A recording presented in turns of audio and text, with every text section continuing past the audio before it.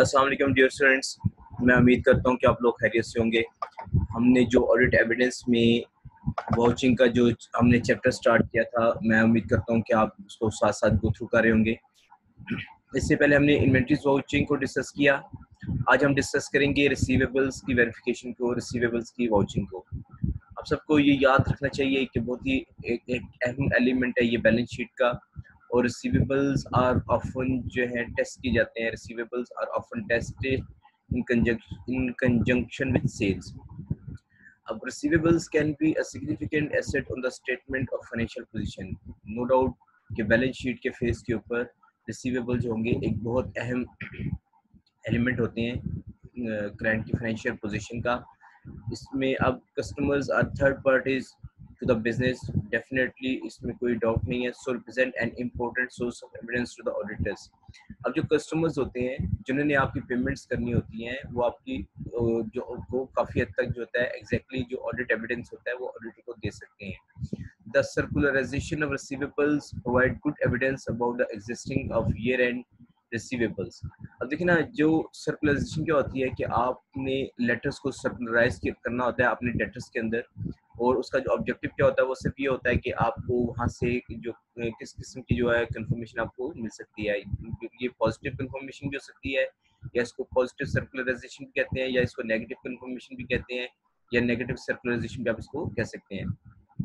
Other audit evidence comes from cut off testing अब cut off हमने बहुत अच्छी तरह डिसाइड किया कि हमारा जितनी भी ट्रांजेक्शन हैं, वो before the financial year concludes वहाँ पे होनी चाहिए। एनालिटिकल प्रोसीजर्स को हमने डिस्कस किया कि एनालिटिकल प्रोसीजर्स क्या होते हैं, कि आपके कंपैरिजन होते हैं of comparison of significant ratios होते हैं and review of after date cash receipts अब देखना ये कि अगर जो चीज़ अगर थर्टी जून तक हमारे पास मौजूद है तो क्या उसके बाद जो अगर कोई कैश सीट्स आई हैं तो वो हमारे पास कब आई हैं? अब इससे पहले जरा पॉजिटिव कंफर्मेशन को देख लेते हैं या सर्कुलराइजेशन देख रहे हैं positive circularisation customers is requested to confirm the accuracy of the balance shown or state in what respect he is in this agreement.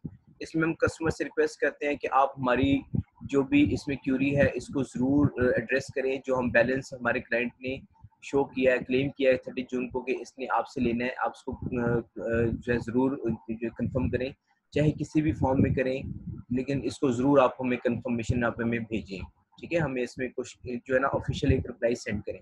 जबकि नेगेटिव सरप्राइजेशन क्या होती है, इसमें हम क्लाइंट को कहते हैं क्लाइंट के बैंकर्स को कह सकते हैं, या क्लाइंट के कस्टमर्स को कह सकते हैं, जिन्होंने पैसे देने हैं क्लाइंट के तो या क्लाइंट के डेटर्स को कह सकते हैं कि आप हमें तभी रिस्पॉन्ड करें अगर ये बैलेंसेस सही नहीं है। तो अगर या ये बैलेंसेस जो हम, जो क्लाइंट ने क्लेम किए हैं बैलेंस शीट के अंदर, अगर ये डिस्प्यूटेड है तो।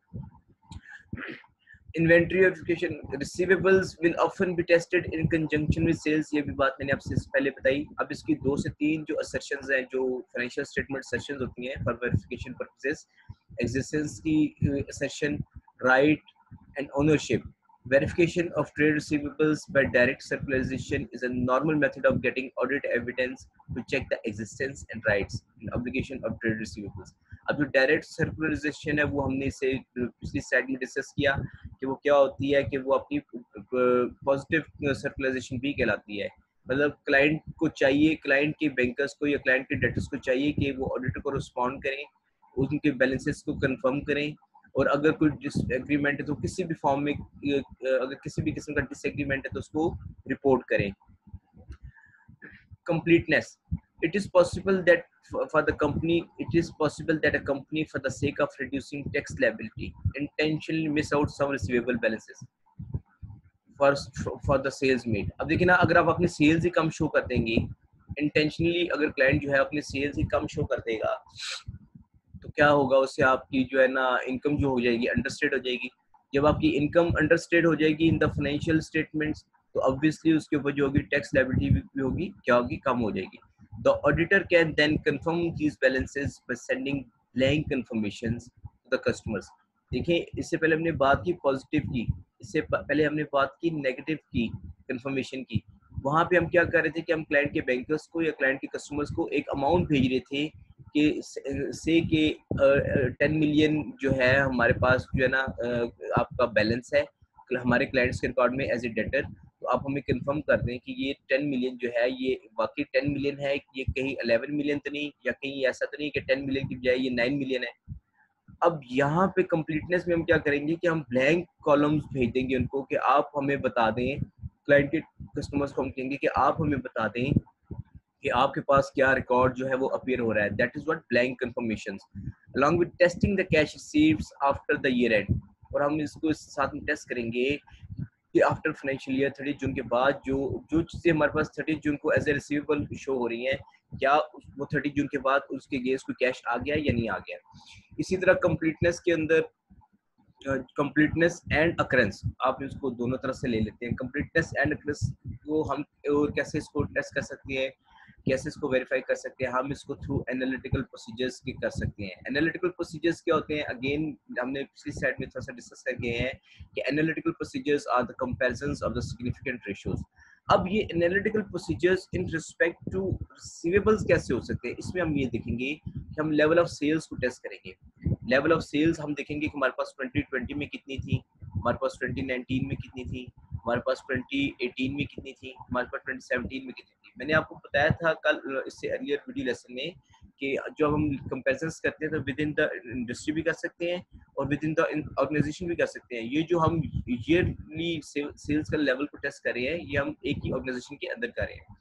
उसके बाद हम इसमें एक और जो है चीज़ जो एनालिटिकल प्रोसीजर टेस्ट कर सकते हैं, हम ये देखते हैं effect of changes in quantities after sales जब भी सेल्स होती है तो हम देखते हैं कि क्या हमारे इन्वेंट्री इन्वेंट्री जो है उससे कम हो रहे हैं, ज़्यादा हो रहे हैं इन्वेंट्री कम हो रहे हैं तो उसका मतलब है सेल होगी अगर सेल हो रही है तो अकाउंट से क्या हो जाना चाहिए हमारा जनरेट हो जाना चाहिए।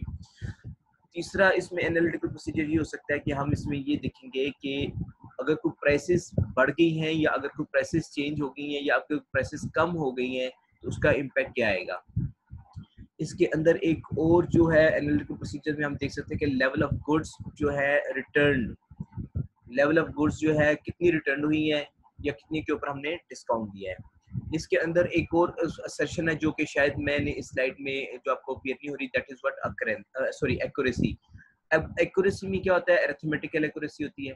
अब इसमें हम देखेंगे कि प्राइसिंग डिसीजंस अगर प्राइसेस के अंदर कोई एडिशंस हुई हैं या तो वो भी हमें इन्वेस्टिगेट करनी है या अगर प्राइसेस तो वही है जो पीओस के अंदर है, लेकिन जब आपने इन्वाइसेस को चार्ज किया तो कहीं आपने इन्वाइसेस ओवर स्टेट तो नहीं कर दी। इसके अंदर आपने ये एक्यूरेसी के अंदर हमने ये एक्यूरेसी की जो असेशन है, इसके अंदर हमने ये देखना है कि कहीं आपने किसी क्लाइंट को या किसी कस्टमर को डिस्काउंट तो नहीं दिए। अगर आपने उसको डिस्काउंट दिए तो क्या वो whether they are properly calculated number one and then whether they whether और not they are properly authorized. This is what number two, properly calculated, properly authorized. तीसरी, इसके अंदर चीज़ जो होगी एक्यूरेसी के अंदर हम ये देख सकते हैं कि calculation of general sales tax GST और अदर एप्लीकेबल टैक्सेस क्या वो करेक्ट करेक्ट है या नहीं है? तीसरी चीज़, इसके अंदर हम ये एक्यूरेसी के अंदर हम इसको कैसे कर सकते हैं कि सेल्स अकाउंट का जो होगा लेजर होगा, उसको हम रिकनसाइल करेंगे। अब हमने जो इसकी सेशंस को डिस्कस कर लिया एग्जिस्टेंस को डिस्कस कर लिया राइट को कर लिया ओनरशिप को कर लिया कंप्लीटनेस को कर लिया one is missing that is what जो हमने accuracy discuss and one more yes cut off sales cut off है। यहाँ पे इसको सेल्स कट ऑफ़ कर जाएगा।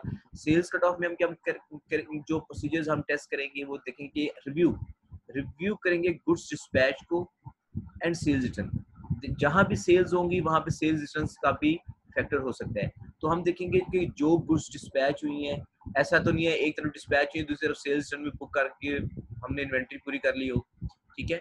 उसके बाद इन्वाइसेस जो भी होंगी हमारे पास, जो सेल्स की इन्वाइसेस होंगी, उसको मैच करेंगे क्रेडिट नोट्स के साथ recorded in the same period अब सेम पीरियड का मतलब क्या होता है? अगेन कि आपने कट ऑफ़ कट ऑफ़ को हम डिस्कस करें ना, कि फाइनेंशियल ईयर जो कंक्लूड हो रहा है, उस डेट तक जो भी हमारे पास, जो हमारे पास जो इन्वाइसेस हमने जनरेट किए हैं या उनके उनके अगेंस्ट हमें कुछ क्रेडिट नोट्स जो है ना इशू करने पड़े तो उसको भी हम क्या करेंगे? रिकनसाइल करेंगे। इसके अंदर सेल्स कट ऑफ़ के अंदर एक और रिव्यू प्रोसीजर या जो ऑडिट अप्लाई कर सकता है वो ये है कि उसको रिकनसाइल करना होता है लिस्ट ऑफ़ बैलेंसेस के थ्रू और सेल्स लेजर कंट्रोल के थ्रू अब देखिए ना सेल्स का लेजर में तो हमारे पास बीसीओ किस्म के डेटर्स आ रहे होंगे message A message B message C message D and so on लेकिन अब के हमने एक से से टेन थाउज़ेंड लेने हैं बी से ट्वेंटी थाउज़ेंड लेने हैं सी से फोर्टी थाउज़ेंड लेने हैं, ये एक सेल्स लेजर कंट्रोल के अंदर हमारे पास यार लेकिन on the other hand record यहाँ पर हम क्या करेंगे कि बारी बारी जो हमारे डेटर्स हैं मैसेज ए है बी है सी है डी है, जिनके बैलेंसेस सेल्स लेजर कंट्रोल में एक लाइन के साथ अपीयर हो अब उनको इंडिविजुअली भी जाके चेक करेंगे। कहने का मतलब ये है कि हम रिकन्सिलेशन करेंगे बैलेंसेस की सेल्स लेजर कंट्रोल के साथ या सेल्स लेजर अकाउंट के साथ। मैंने कोशिश की है कि मैं इसके अंदर जो है रिसीवेबल वेरिफिकेशन के अंदर आप लोगों को जो है हम मैक्सिमम सेशंस को हम डिस्कस कर सकें। ये लास्ट स्लाइड के ऊपर आई एम सॉरी यहाँ पे जो है ना ये इन्वेंट्री वेरिफिकेशन आ रही है इन्वेंट्री वेरिफिकेशन है ये रिसीवेबल वेरिफिकेशन है। सो so, अगर कोई भी ऐसी चीज़ है जो फाइनेंशियल स्टेटमेंट सेशन है जो आपको समझ नहीं आई तो कोई आप अपने पॉइंट्स को अपने क्वेश्चंस को अपने क्वेरीज को नोट डाउन करें। और इनशाला क्वेश्चन आंसर सेशन में I will be there I will be there to address your queries अपना ख्याल रखिएगा। बहुत कहीं से भी पढ़ें ऑनलाइन पढ़ें, किसी भी बुक से पढ़ें रिसीवेबल्स की वेरिफिकेशन या वॉचिंग के मतलब कोई भी ऐसी चीज़ है जो आपको समझ नहीं आती तो you will find me always on your side while, when I'm going to address your queries. Thank you very much. अपना बहुत ज़्यादा ख्याल रखिएगा। अल्लाह हाफिज़।